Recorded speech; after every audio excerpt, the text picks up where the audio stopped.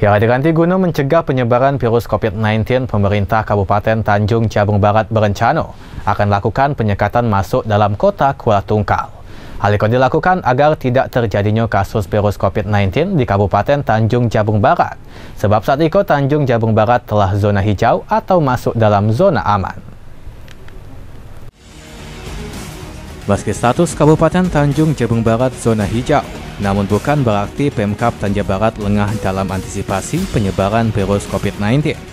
Sebab pencegahan terus dilakukan salah satunya genjot vaksinasi COVID-19 bagi masyarakat Tanja Barat. Bupati Tanjung Jabung Barat Anwar Sadat mengatakan, Kabupaten Kuala Tungkal berencana melakukan penyekatan masuk dalam kota Kuala Tungkal. Itu dilakukan sebagai antisipasi lonjakan kasus ketika Natal dan Tahun Baru.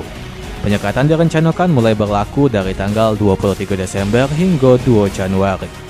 Nah, insya Allah nanti mulai tanggal 23 Desember sampai tanggal 2 ya.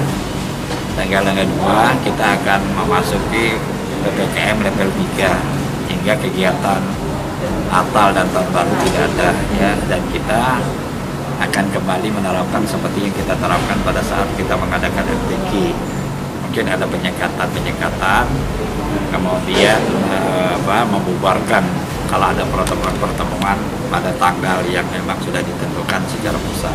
Ini dalam rangka mengantisipasi jangan sampai ada gelombang ketiga katanya ya, COVID gelombang ketiga.